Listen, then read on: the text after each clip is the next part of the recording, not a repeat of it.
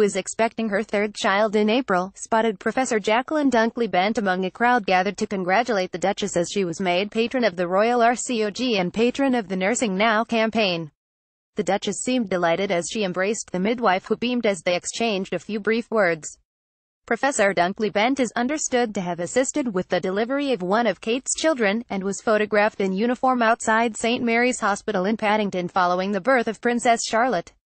And as she left RCOG, the Duchess told Professor Lesley Regan, It's so great to see Jackie as well. The mother-to-be looked beautiful in a two-piece blue Jenny Packham dress and coat, which put her growing bump on display. She teamed the collarless coat with white piping with a blue suede pair of heels, a 8,400 pounds Tanzanite pendant with matching earrings from G. Collins Sons. The Duchess of Cambridge was this morning greeted by college president Professor Lesley Regan in northwest London before she launched a campaign to promote nursing worldwide.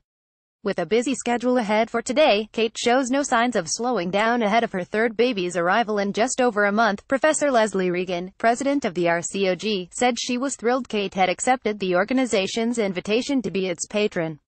She added, We are very grateful to Her Royal Highness whose support will help to raise our profile as a medical charity that champions the provision of high-quality women's health care at home and beyond. We know that maternal health and mental well-being is an issue close to the Duchess' heart, as a young mother herself.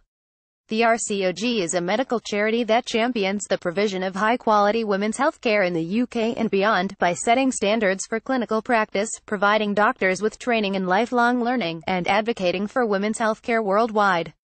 Founded in 1929, the college now has more than 16,000 members globally, and works with a range of partners both in the UK and abroad to encourage the study of obstetrics and gynecology and advance its science and practice.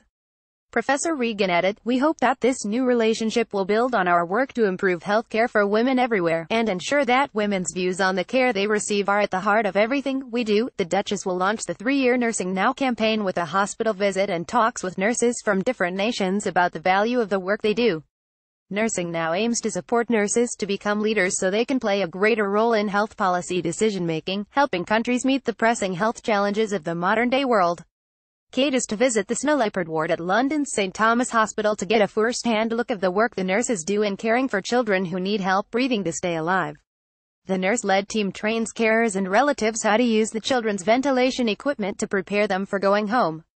The campaign is being run as a program of the Burdett Trust for Nursing, in collaboration with the International Council of Nurses and the World Health Organization WHO. Nursing Now was founded by nurses and other health experts based on the findings of the 2016 Triple Impact Report, produced by the All-Party Parliamentary Group on Global Health.